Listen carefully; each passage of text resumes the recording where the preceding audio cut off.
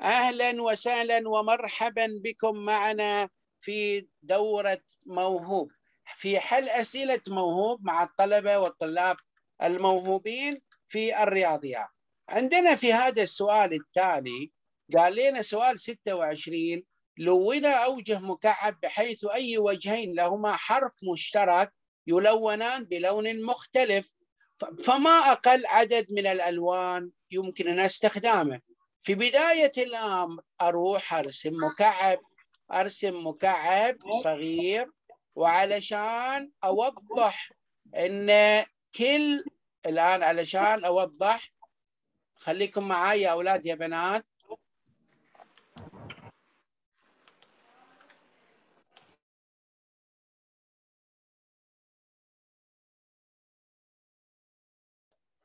يلا تسمعون الحمد لله تمام. الآن أروح أوضح الآن أروح أعمل. هذا المكعب سوينا هذا هنا مكعب وهنا أيضا هذا المكعب. الآن هو قال لنا لونا أوجه مكعب بحيث وجهين أي وجهين لهما حرف مشترك بلونين مختلفين. يعني إن هذا أي مكعبين اثنين مع بعض أي وجهين يعني مثلا هذا الوجه شفت الآن هذا لهم حرف مشترك. راح لونه بلون مختلف. هنا صار اللون هنا مثلا لونه باللون آه الوردي وهنا لونه باللون من الأخضر. وهكذا أي وجهين يصير لهم يكون مشترك. طيب الآن يقول لنا كم لون نقدر بنستخدم؟ أنا عندي كم وجه الآن موجود؟ عندي ستة أوجه. ما دام عندي ستة أوجه أروح أقسم. ستة أوجه قسمة كم لون قال؟ كل واحد لونين. الجواب إذن كم عدد الألوان اللي بستخدمها؟ عدد الألوان ثلاثة ألوان. فإذا تكون الإجابة فقرة B. الإجابة فقرة B ثلاثة. واضح؟ اكتبوا لي على الشاتن إذا هو واضح يا أولاد يا بنات. لأن أنا خليت الآن المايكات صامت. اكتبوا على الشاتن واضح السؤال؟ جميل. واضح الإجابة؟ اذا وجدنا عدد الألوان ثلاثة. يلا ناخذ الآن السؤال السابع والعشرين. يلا في سؤال 27 قال لنا الشكل التالي يوضح شبكة من النوع خمسة في خمسة. يعني كل المربعات موجودين 25 مربعا لك أن تملأ كل مربع بأحد الأعداد التالية أعطاني الأعداد من واحد إلى خمسة بحيث أني أنا أملي كل عمود وكل أفقي وكل أيضا قطر بنفس الأعداد بدون التكرار. لا يتكرر العدد. بحيث لا يتكرر شوف لاحظوا العدد في نفس الصف أو العمود أو القطر الكبيرين. هناك بعض الأعداد كتبت أوجد قيمة M. هنا أروح أجرب. أشوف ما هي الإجابة. أبغى أجرب بحيث أن يكون هذا الخط كله بدون تكرار الأعداد. بدون تكرار الأعداد. يلا أجرب. أحط مثلا هنا أنا هنا في هذا الصوب ما أقدر أحط واحد صح؟ في هذا في هذا الآن هنا ما أقدر أحط واحد صح؟ ليش ما أقدر أحط واحد؟ لأن عندنا واحد هنا صح؟ ولا أقدر أحط ثلاثة صح؟ ليش؟ ما نقدر نحط ثلاثة لأن موجود في الأفق ثلاثة صح؟ إذا ممكن أحط احتمال العدد أربعة ممكن لا لا تشطب يا محمد باسل امسح. يا محمد باسل امسح. اذا أروح أحط كم؟ خليني أشيل عنكم القلم. هنا أروح أجرب الحين الاعداد هنا لو جربت ومليت المربعات بصير العدد هنا موجود أربعة وبعدين هنا ثلاثة وممكن هنا لأن في أربعة وفي عندنا واحد وعندنا اثنين ممكن يصير خمسة هنا. ولاحظوا خمسة وثلاثة وهنا ممكن يصير اثنين وهنا بصير كم؟ واحد. لاحظوا أربعة واحد ثلاثة خمسة اثنين. ما تكرروا لا أفقيا ولا عموديا. فإذا تكون الإجابة فقرة مين؟ فقرة A. الإجابة واحد. حلو. يلا نروح للسؤال الثامن والعشرون. في السؤال الثامن والعشرون قال لنا بملاحظة تسعة وعشرين هنا معناه تسعة وعشرين بالمئة عدد دوري. هذا نسميه عدد دوري. عدد دوري. العدد الدوري إذا أنا أبغى أسوي كسر فما بصير 29 على 100 يصير 29 على 99 وأعطاني 29% يساوي هذا المقدار. 0.292929 مكرر. يعني هذا معناه هو يقول لكم هذا معناه عدد دوري. فإن قيمة 0.729 هي كم؟ يبغاها بالكسر. يعني عندنا 29 هو المكرر والثاني. مرة بسيط. أروح أوزع هذا الكسر هذا الجزء العشري أحوله إلى إيش؟ إلى كسور أحوله إلى كسور عندنا هنا 29 عدد إيش؟ عدد دوري هنا عدد دوري ال 29 إذا فبصير لنا الإجابة أقول هنا سبعة من كم؟ بيصير عندنا سبعة من عشرة لأن هذا جزء من عشرة زائد التسعة وعشرين هذه بيصير عبارة من كم؟ من تسعة وتسعين يعني بيصير هنا تسعة وعشرين الآن لأنه قال تسعة وعشرين من تسعة وتسعين بس لكن بتصير من كم؟ من تسعة وتسعين يلا نقول التسعة وعشرين عبارة عن أو خلينا ما هو راضي يكتب خلينا نشوف بالماوس يكتب هنا تسعة وعشرين من تسعة وتسعين. يلا الآن أوحد المقامات أوحد المقامات الآن. نوحد المقامات يصير مقاماتهم تسعمية وتسعين. نضربهم يعني نوحد المقامات. ونضرب سبعة ضرب تسعة وتسعين. الجواب كم يا أولاد يا بنات؟ سبعة ضرب تسعة وتسعين كم الجواب؟ الجواب يصير هنا طبعا بصير 2.9 هنا 2.9 لأنه طبعا عندنا هنا المفروض 29 من 1000 على 990 يلا نصير عندنا 600 إذا ضربناهم يصير 693 ونضرب 10 ضرب 29 ضرب 2.9 بيساوي لنا هنا زائد 29 أروح أجمع الآن أجمع هذا المقدار كله. إذا جمعناه يا أولاد يا بنات كم يطلع الجواب؟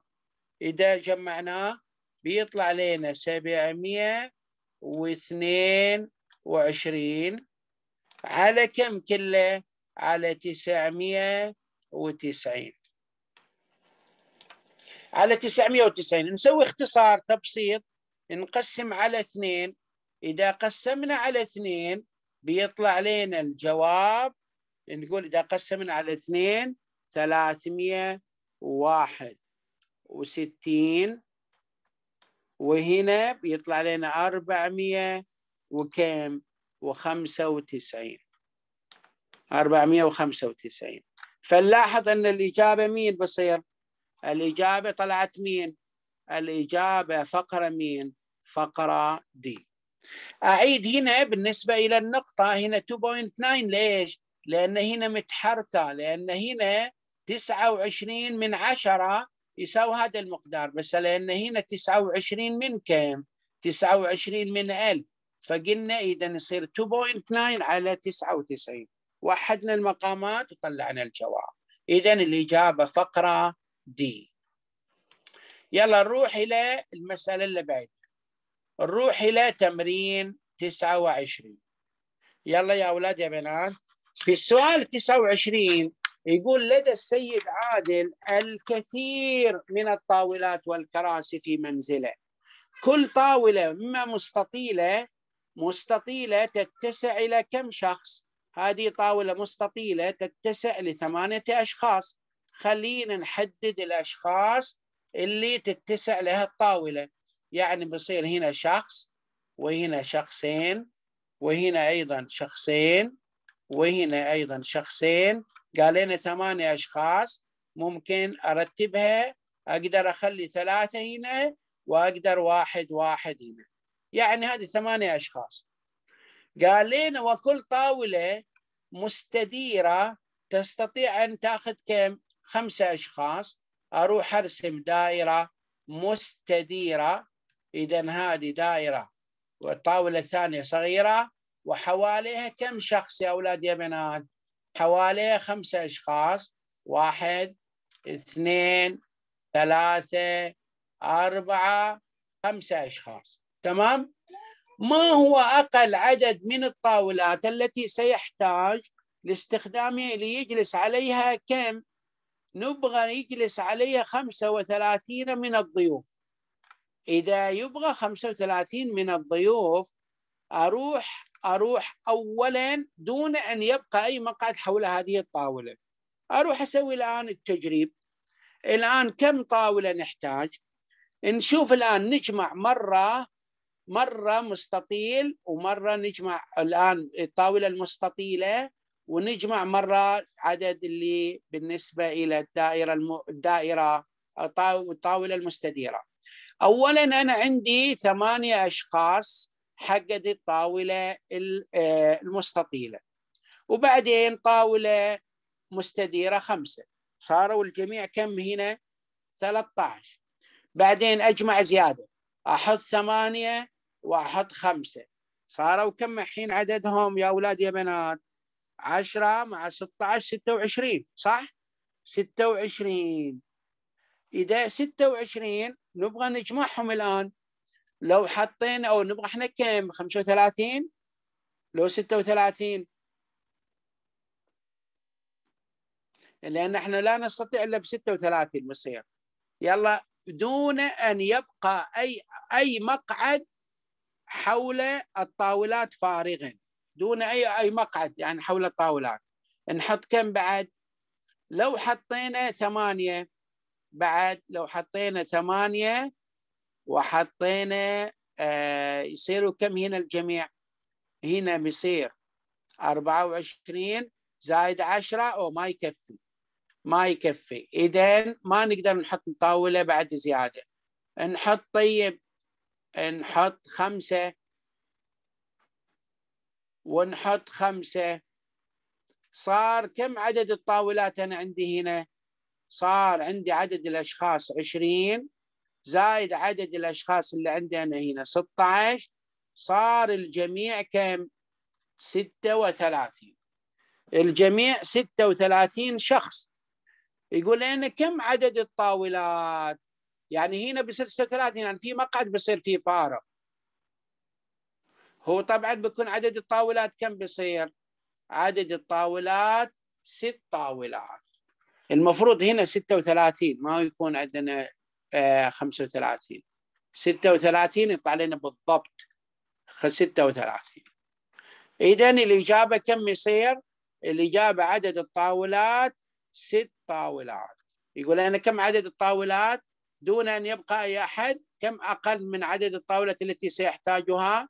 يحتاج ثنتين مستطيلة ويحتاج وحدة دائرية فإذا يصير الإجابة آه، ست طاولات طيب السؤال اللي بعده.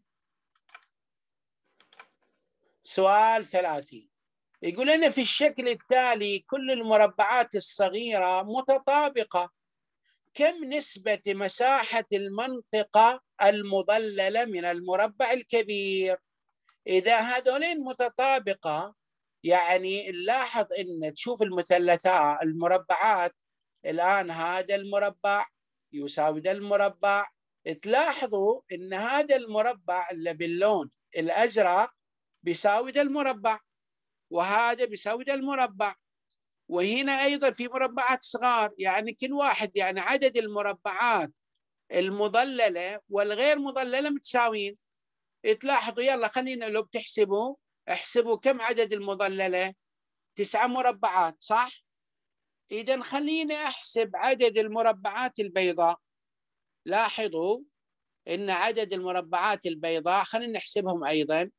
هنا واحد اثنين ثلاثة أربعة. مع بعض هنا أربعة هذه مع هذه صاروا خمسة. هذه مع هذه صاروا كم؟ صاروا ستة. هذه مع هذه صاروا سبعة. هذه مع هذه صاروا ثمانية. وهنا اللي الربوع صاروا تسعة. إذا عندنا تسعة مربعات. مربعات بيضاء. وعندنا تسعة مربعات إيش؟ مظللة صح؟ تسع مربعات بيضاء وتسع مربعات. إذا ماذا تساوي نسبة المساحة المظللة بالنسبة للكبير؟ تساوي النصف. نصف المساحة الكبير. إذا تكون الإجابة فقرة مين؟ فقرة دي يعطيكم العافية والصحة والسلامة. بارك الله فيكم. تقبلوا تحيات الأستاذ زكي الشعلة. في أمان الله. ونتمنى لكم التوفيق أولادنا وبناتنا. بارك الله فيكم. مع السلامة. في أمان الله.